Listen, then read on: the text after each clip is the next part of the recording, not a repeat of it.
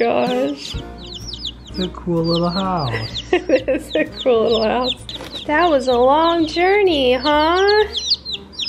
Well, apparently, guys, I bought chicks.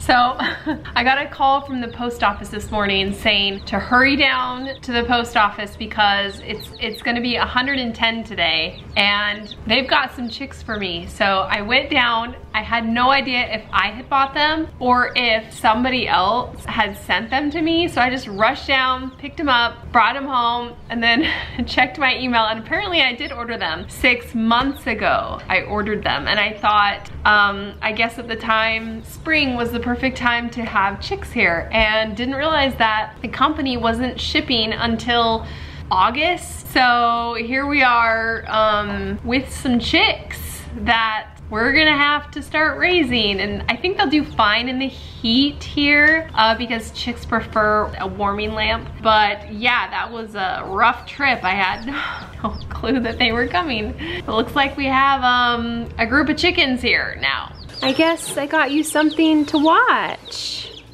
You gonna watch over them? Good girl. You love them. They're pretty scared of us. Yeah. Yeah. That one is the blue laced red Wyandotte. Oh yeah, it does have some blue in it. And look, and look at the look at the red on it. Nice. Yeah, that's gonna look really cool when it's older. Yeah. Which one do you have, Ethan? Oh, that one has cool like. That is such a cool Like- one. Okay, so that one I think is called the Green Queen, and it's gonna have these really cool green eggs because we only have the blue, brown, and white right now. Yeah. I like the eyes like it has a mask on, like a robber's mask. Yeah, it does. This one's all gray. This one gray is legs. that one I think is the lavender Orpington. Oh, so it'll be kind of purple. Mm. Yeah, at it'll it'll look kind of gray. I know. This one's kind of loud. This one is called a steel egger. And it's just like a different, I just wanted to get a lot of different breeds. Uh huh. So they're supposed to be all girls, right? Yes, they're all females, so no roosters in this bunch. This one has feather legs. Oh. Oh yeah, this one's a fun one. This one's the buff Brahma. Okay. Ooh, uh, so not a Silkie, just like Yeah, kind of similar, you know, like size and stuff, but yeah, it'll look sort of like a Silkie hmm. but have these cool colors on it. Like a Brahma bull. So one thing we have not been very good at is now you guys are older, we don't really name our chickens. When you guys were little, we did you used to name them Flurf and all these weird names. This one's name is Ruffles. This is Puffles. So now we gotta name them names. I was thinking maybe the best way is to name them the name of like closest to their breed so we remember them. That Okay. That one definitely should be called Lavender, like from Harry Potter. Yes. Bandit, the one with the mask. But the, except they're all girls. They're all girls. She's the, called gr- a Green Queen, so it'd be funny to okay. name her Queenie or something. Yeah, Queenie. Queenie. I like Queenie. Okay, what do we name the Steel Egger? Uh, Stevie. Stevie. Cause like steel. Oh yeah, we S-T-E-V-E. should. That's good. That's good. What's your idea then? I don't know. Flurf. Flurf. Fluffy Flurf the too. chicken. For the buff Brahma. Buffy? Buffy. yeah. Like Buffy the Vampire Sure. Slayer, you know? Yeah, totally. And then what about the blue laced red Wyandotte? Bluey. no, no, we should do call her. like something with a W, so it should be like like uh like Wilhelmina or like something I'm trying to think of that. Who's the actor from Stranger Things? The lady actor. uh You know what I'm talking about? yeah, I know you're talking about I can't th- think of it. Uh, Why? Winona. Winona. Oh, that's Winona. good. Let's do that. Starts with Y W Y. What? Yep. okay. Isn't it fun to name the chickens? Now, here's your quiz, Ethan. Ready? Do you remember every single breed we went over? What's this one on top? You held that one, Ethan. That, that's a uh, bandit. No. No. No, that's Queenie. Queenie. Oh, Oh, yeah, you're Queenie. right. And I remember the all gray one here. I remember the all gray one is lavender. It's lavender. Yeah. Then the red one is gonna be is the Wyandotte, so she's Oh yeah, Winona. she's Winona. So Queenie Winona, lavender, and then Buffy is the one with the feathered legs, right? yeah, that's Buffy. And then the other one is The black Stevie. the steel. Yeah, the steel. Look at, look at the the kitty. steel egger. Look at her. Oh, the ah. kitty. They're good. Those are good names, and it'll be fun to have some different breeds. We'll quiz you tomorrow, Ethan. Have them Okay. memorized.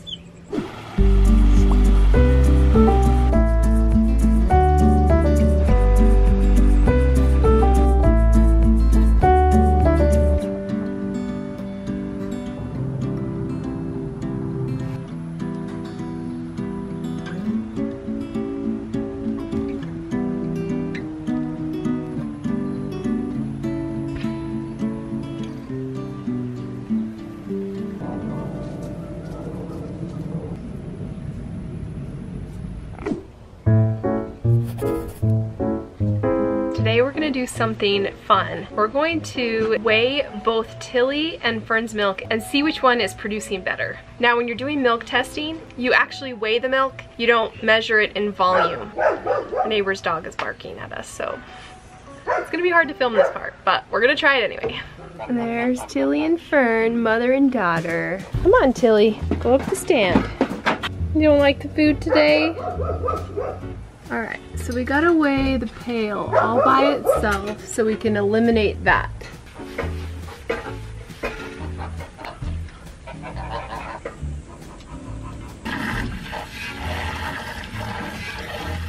So Tilly's milk has actually gone up again. I wouldn't say it's totally back to what it was before she was feeling her morning sickness, but you know, okay. So we're gonna weigh it and see how much she gives us. Does that say 1.14, I think, pounds? Which translates to about three cups, I would say. No, no, kitty. Okay, bye, Tilly. Have a good day. Come on, Fern. One thing I love about Fern's structure is how long she is. She's definitely not as short as Tilly. And she's just got a lot of strength to her. She's a very sturdy doe.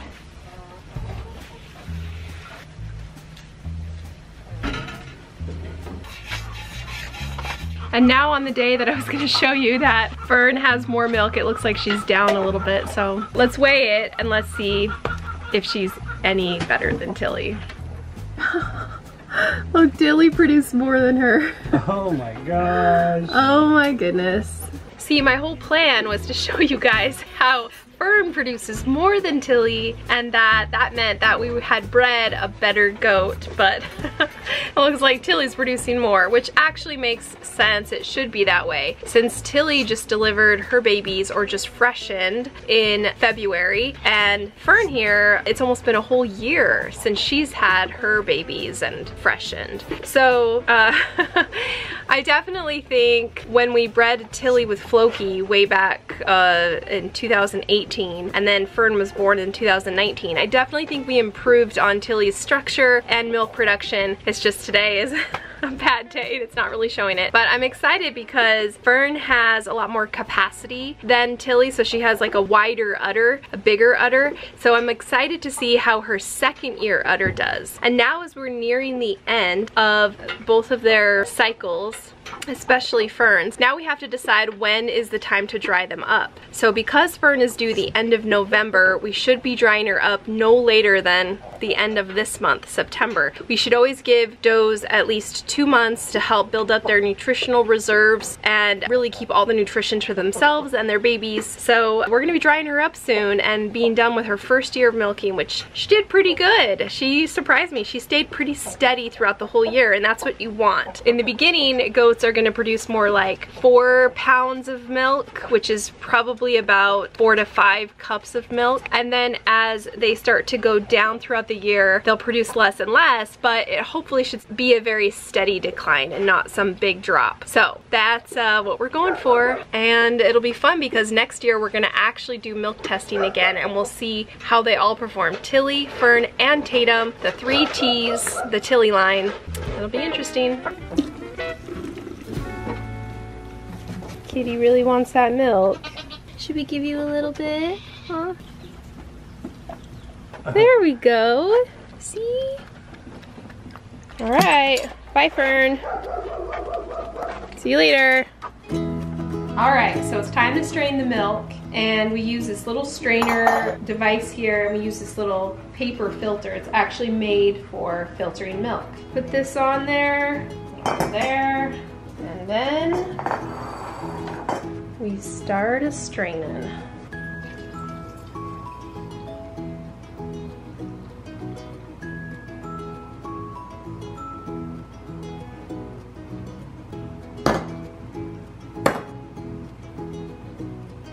So it looks like we've got about four cups. So I would say it's probably pretty equal since their weights were pretty equal. Probably two cups from Tilly and two cups from Fern. I think if Tilly hadn't have gotten sick this year, she probably would have kept producing better. Tilly still is a really good producer and I'm really happy with her. She also produces like the best babies, the ones I always want to keep. So she has good lines. It's just uh, been a rough year for her, I guess.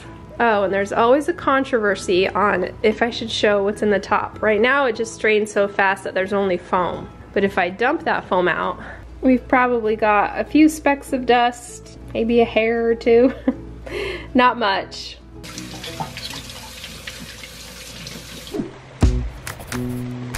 The pizza oven project. Mm-hmm. Well, we waited until the weather was below 105 Yeah. to do this because it's so humid, so hot outside. But we're ready to do the dome, guys. It's dome day today. Yeah. This is either your most brilliant idea or your worst idea. Why? because if we can't get this dog igloo off of it, we're screwed. Well, we definitely will because we did the plastic wrap. Yeah, so we covered the whole thing with saran wrap so that it doesn't bond to it. But mm-hmm. Kevin didn't think it would really bond to it anyway, since like cement doesn't usually bond to plastic. Yeah. So the whole reason we're using the dog igloo is just so we didn't have to build a form. Like this is this is the easiest way. Yeah, some people use an exercise ball, but it's all soft and you can't push on it really hard and make it really strong. Dog igloos are the perfect dimensions for an oven because the door is at the exact right height. It's supposed to be at like 63% of the height to be the perfect spot for the heat not to get out and everything's perfect. So you put a little form on top where the chimney is gonna go. Mm-hmm. But then we just, uh, once we covered it with plastic wrap, we just mixed up our cement and perlite. And the reason why we're using perlite is in our research, it is a lighter material and it also is a good insulator, Yeah, correct? It's volcanic rock, so it's all hollow air. So air is the best insulator. The heat just stays in the oven and no heat comes out of the oven. So once we mixed that up, kind of got the right consistency, then we just started covering it. And we were both surprised at how difficult this was. We thought this would be like the easy step, but it was hard because, you know, you're trying to Yeah. keep it on there. Start at the bottom so it has something to build up on. And we weren't really sure on the thickness. We are just trying to do what we thought was right. We know we're going to add another layer on top, but, Insulation blanket and Yeah. then another layer on top of that. But we needed it to be thick enough so that when we lift this up, it doesn't break. Mm, yeah. So hopefully that doesn't happen. But yeah, it's just kind of tedious work of us just making sure that it is even and that the whole thing is covered. And today, here's where we're at. So it's it's hard, like it it dried. Yeah, it's gonna be strong, I think. But we're gonna put more layers on it, so it's gonna be nice and thick. So when do you think we're gonna lift this off and pull that out? We could always wait until we've done the other layers. Kevin's 100% sure that this is gonna come off and I'm like 96% sure that this is gonna come off. Lift the whole thing up right now. I just want to see how heavy it is. You sure it's gonna come off? Yep. Okay. So the plan is to lift this whole thing up and pull the dog igloo out and then set it back down.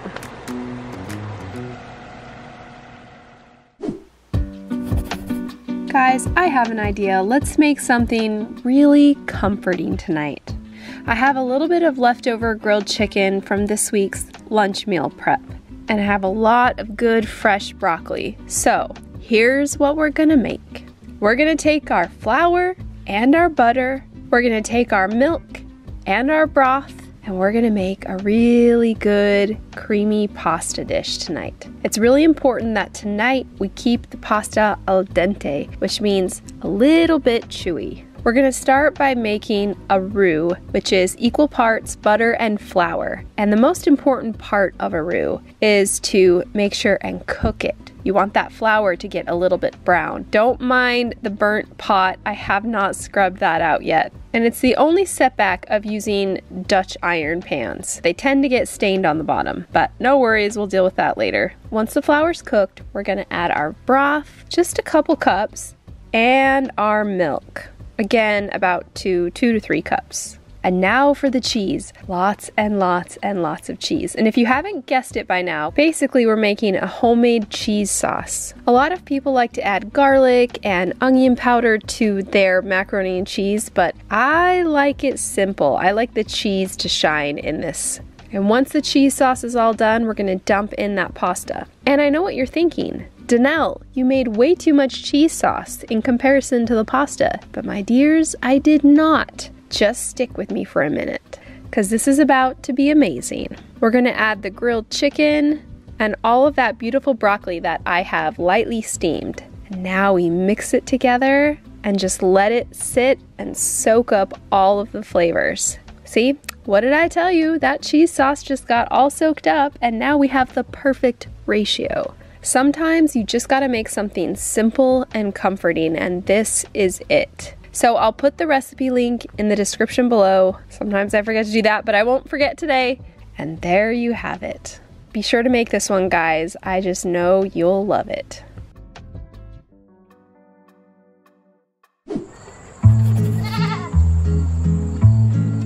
They're like, Hi, kitty. I literally see a bug. Just went under that pillow. it's gonna kill you. Okay, guys, it's night ultrasound this time, and we're gonna see if Tilly has any babies inside of her. And Lydia is gonna worry about bugs the whole time. Bugs are scary. And Ethan's gonna play with the kitty the whole time. She's chasing a roach. She's gonna play with the roaches. She's Oh. Tilly, Tilly, are you pregnant? there we go! Look at that! Tilly, you be pregante. Pregante. Definitely pregnant. Look at that, Tilly. So, Lydia, Tres. Tres babes. definitely two. I see something inside there and something Yeah, inside there. You're right. But I don't know, do I see a separation and see, you know, another one in one of these? Oh. That is the question, isn't it?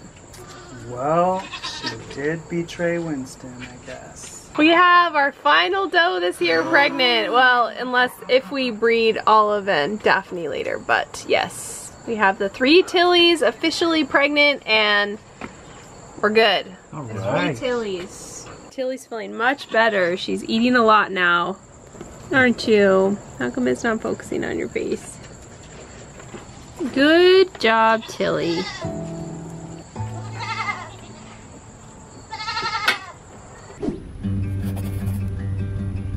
I haven't shown our front yard orchard in a long time, so I thought I would show you guys what we have growing. Although there's no fruit right now, it's kind of the end of the growing season for us, especially with fruit. We're not gonna really have any more until late winter, but it's beautiful right now, so I should show you guys what we have. We have these two blackberry bushes that I keep wondering if I should move because they're gonna get massive. But in the very front, we have a Washington orange. It's called a Washington Navel orange. And this big open area is our septic tank, so we can't have anything right here. Back there is our dwarf mulberry and our Pakistani mulberry. And then we have another little dwarf mulberry that we put right here. And then a Trovita orange right here. Coming on this side of the yard, we've got a Meyer lemon and a Tangelo. I can't remember which variety. Then right here are all of our grapes. We've got a fig, an apricot, an almond, a plum, another fig, a peach, another peach, and another apricot. So this time of year is so pretty because we've got so many green, beautiful plants, but not a lot of fruit because we already ate all of the figs, all of the peaches and the apricots and the almonds and the mulberries this year. But it sure is beautiful and I think it's a great use of our front yard especially since we live in an urban area where we can't have a full orchard. So I figured since we couldn't put animals in the front and we couldn't put, you know, like a vegetable garden in our front yard. Instead, let's just do a ton of fruit trees. So each year it gets better and better and we learn how to fertilize so that they perform the best. And yeah, I'm pretty excited and pretty proud of this little plot of land that we have, especially in the front because eventually we're gonna have so much fruit that it's gonna be insane. Thanks for watching today's video guys. If you want to watch some other videos of the chicks we've hatched here on the farm, click right here.